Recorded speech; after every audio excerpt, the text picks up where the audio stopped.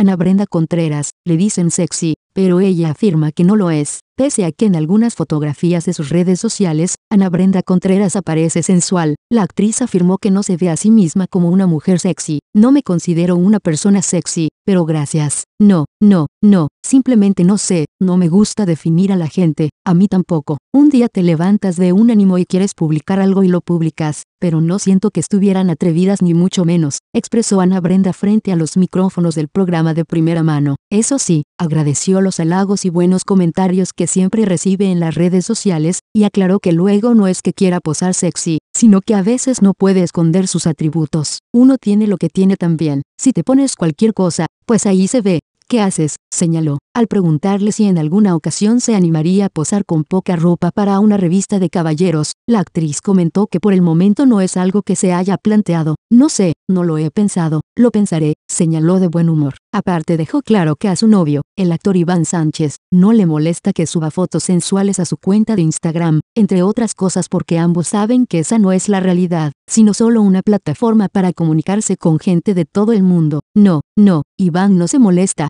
¿Cómo crees? No, no, hay que ser libre, cada quien es como es y eso es tu espacio, afirmó la actriz, quien actualmente está grabando la telenovela Por Amar Sin Ley, que protagoniza junto a Julián Gil y David Cepeda, por Celeb.mx, 24 de enero de 2018.